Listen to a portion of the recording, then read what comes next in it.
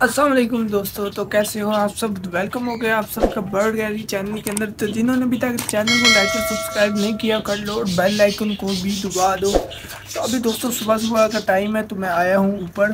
तो अभी तक मैंने किसी को भी बाहर नहीं निकाला। ये थ्री इडियट्स जो है ना, ये खुद ही बाहर आए, आ जाते हैं, क्योंकि ये वाले केज का जो है ना, दरवाज़ा नहीं है। तो अभी हमने ना जल्दी से इनको बाहर निकालना और इनको डाइट वगैरह खिलानी है।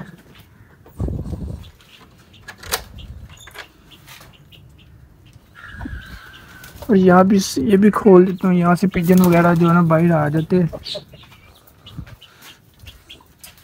चलो चलो चलो चलो। चलो चलो, बाहर बाहर बाहर आ जाओ, बाहर आ जाओ। चलो चलो, बाहर आ जाओ।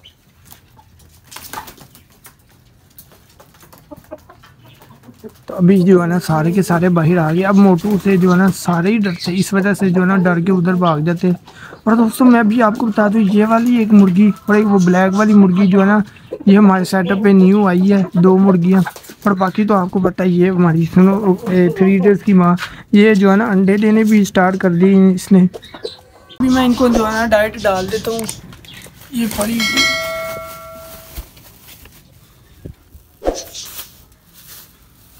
तो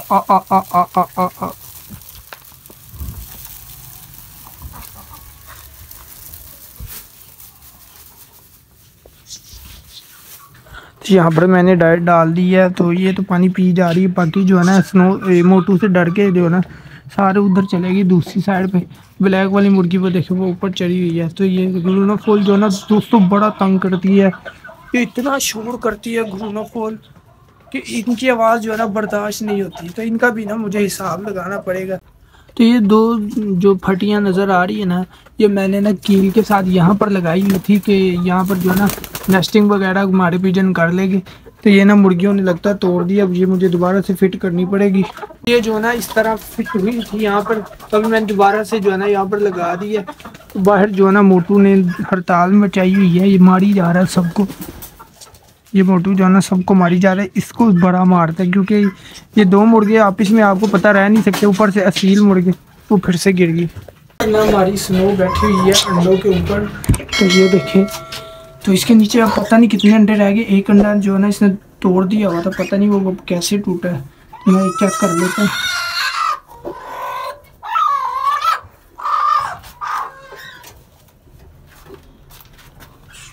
एक, दो, तीन, चार, पाँच, छः, सात, आठ आठ अंडे हैं। तो नौ अंडे थे, जिनमें से आठ रह गए हैं।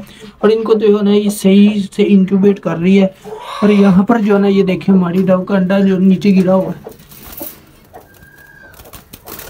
इससे ये अंडे बहुत ज़्यादा जो है ना ज़ाया करती है यहाँ पे ये दो कोकटल के अंडे भी खराब हुए हैं। और ये जो है ना, एक ये डव का अंडा खराब हुआ है। और वो देखिए हमारा कोकटल जो है ना बड़ा हो गया काफ़ी, जिसको हम हैंड टिम कर रहे थे ना, मैंने हैंड टिम करना छोड़ दिया था तो ये इसके जो माँ बाप है ना, वो खुद ही फ़ीड देते तो ये देखिए कितना बड़ा हो गया। ना मैं चेक कर लेता हूँ, हमारे ऑस्ट्रेलियन ने अगले किए हुए हैं कि नहीं? काफ़ी दिनों से मैं ना देख रहा हूँ कि फीमेल जो है ना इसके अंदर जाती है और मेल जो ना बाहर ही बैठी बैठा रहता है। तो अभी हम चेक कर लेते हैं इसने दोस्तों माशाल्लाह से ना छः से छः अंडे पड़े हुए छः से सात अंडे पड़े हुए हैं और इनको जो है ना वेट कर रही है। तो अभी दोस्तों मैं लेकर आया था गाजर और मूली इसके छोटे छोटे ना मैंने पीस कर लिए हुए तो यहाँ पर जिनके बच्चे निकले हुए हैं ना इन सब के बच्चे निकले हुए कोकटल के। उनको हमने डालनी है।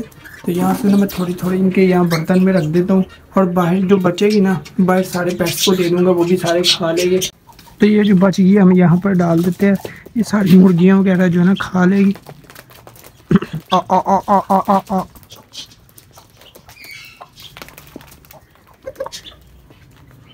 आ, आ, आ, आ। तो इस मुर्गी को जो है ना बड़ा मारते हैं, ये सारे के सारे जो है ना इसको बड़ा मारते हैं। ये जबकि ना ये सिर्फ़ मार ही खा रही है, कुछ खाने देते नहीं उसको। अभी मैंने यहाँ पर पालक और ये डाले है वो देखिए ये ग्रोनो ग्रोनोफोन से बड़ा गुस्सा चढ़ाती है। तो इस, इनका ना मुझे हिसाब लगाना पड़ेगा। अब देखिए वो भी शोर करना शुरू कर दिया उसने। तो ये ऐसे ही करेगी कि ये मारना शुरू कर देगी, वो शोर करना शुरू कर देगी। तो यहाँ पर दोस्तों सेटअप के ऊपर इतनी ज़्यादा गंदगी हो गई है, इनको मैं जो ला के देता था वो ये खाते थोड़ा थे ज़ाया ज़्यादा करते ये पालक वगैरह और ये जैसे भी हम लाते थे ना तो यहाँ पर वेस्ट सारा खाना यहाँ पर डाल देते थे। आपको पता आजकल ना रमज़ान चल रहे हैं तो वेस्ट जो ना बच जाते हैं, ये पत्ते वगैरह इस तरह के। तो यहाँ पर हम डाल देते सारी मुर्गियाँ खाना शुरू कर देती तो ये जब खा लेंगे ना, फारिग हो जाएगी। फिर मैंने यहाँ से सारी सफ़ाई भी करनी है, सारे सेटअप की। फिर जो ना, उस भी गंदा हुआ पड़ा है। तो इनके ये केजेस भी सारे गंदे हुए हैं। तो ये भी सारे साफ़ करने हैं। और दोस्तों, आज भी लोग जहाँ तक की था, उम्मीद है कि वीडियो पसंद आएगी वीडियो को लाइक और चैनल को सब्सक्राइब कर देना। अभी के लिए इतना ही। अल्लाह